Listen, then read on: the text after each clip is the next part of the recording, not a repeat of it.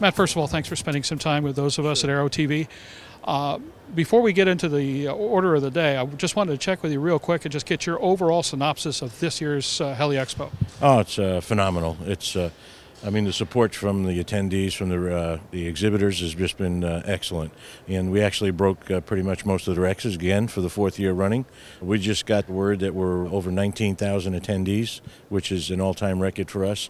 We have 650 exhibitors on the floor, and we've occupied the uh, Dallas Convention Center wall to wall, which is almost a million square feet, with 60 helicopters on the floor. So we're pretty happy right now. At the same time, though, there are clouds on the horizon. We have, over the course of covering aviation news, had to deal with a couple of very significant thorns in our sides, all based on a concept of noise that we're not quite sure exists. Well, yeah, that's true. Senator Schumer instituted a notice of proposed rulemaking with the FAA almost a year and a half, two years ago. And the basic premise of the uh, notice of proposed rulemaking at the time was to uh, authorize the FAA which they don't have this authorization now, and mandate that they respond to noise complaints from the community by developing restricted routes just for helicopters and restricted airspace and altitude requirements. Obviously, that is something that really doesn't make good sense in terms of rulemaking. There's not a connection to anything to do with safety. It has nothing to do with the efficient use of the airspace. This is strictly a visceral response to noise complaints coming from the community.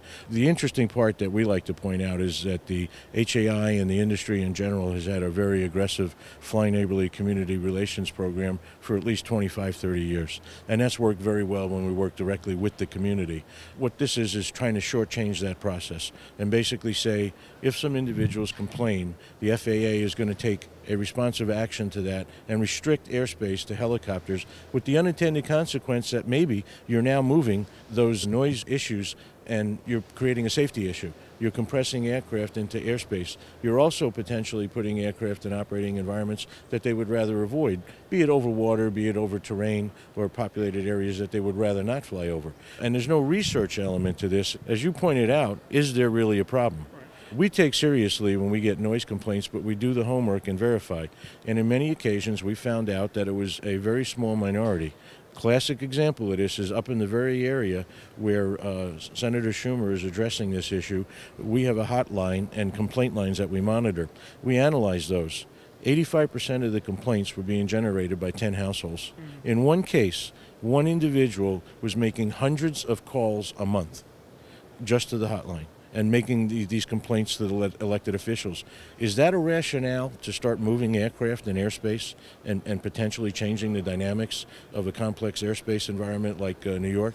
So we're very against this. It, when it didn't move quick enough as an NPRM, Senator Schumer actually created a law proposal and attached it to the FAA authorization bill at the 11th hour. Luckily, cooler heads prevailed in the Congress, and they realized that this was bad lawmaking. This, this was going to set a very dangerous precedent that aviation could actually be controlled and regulated by a noise complaint rather than safety and efficient use of airspace, which is the current mandate. So we're now back in a situation where the law that Schumer proposed has been taken out of the authorization bill and will not be in place. We're back to the NPRM. And we just inquired this morning about the status of that, and the NPRM said they got over a thousand responses, the majority of those being against doing this, and in essence, they're in review. But we're watching that extremely closely because of the domino effect that it could occur. If this were to become a regulation or a law, that would mean that every constituent can pick up the phone, call their politicians, relay a message over, and the next thing you know, the FAA is running out of airspace as to where to put these aircraft because people are complaining. I want to point out one very interesting thing. There was a congressional study to study helicopter noise in urban areas a number of years ago. Mm-hmm. One of the main findings of that study was that the best methodology to solve this problem was get the stakeholders together on working groups mm-hmm. the community, the FAA, and the industry. We've been doing that for 30 years. This community has been incredibly responsive to that. I, I, I, can tell you there's any operation I've seen where there isn't a cognizance of their impact on the communities around them. But at the same time, too, when you take a look at what's happening with today's fleet and the technology involved, the, the average helicopter today is far quieter than it's ever been. Oh, very much so. I mean, the classic example is the floor right behind us here. There's technology now that is advancing towards quieter technology and green aircraft for environmental, you know, uh, initiatives, and the industry is hitting it head on. We have very aggressive programs and Fly Neighborly you know, collateral material and video training programs that we put out to the crews. And the manufacturers have actually put supplements in the flight manual how to fly this aircraft quieter. So we are very sensitive to that issue. Matt, we really appreciate your time and more important, your good work, and we thank you so much. Thanks a million for the opportunity to talk with you.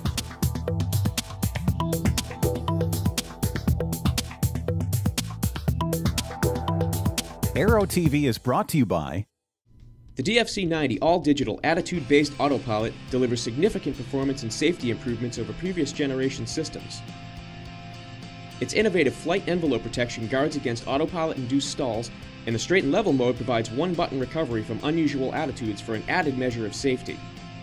Immensely popular within the Cirrus community, the DFC 90 is now being made available for a growing list of aircraft including Piper Matrix and Mirage, Cessna 182s, and Beech Bonanzas and Barons. Fly with confidence. Fly with DFC 90.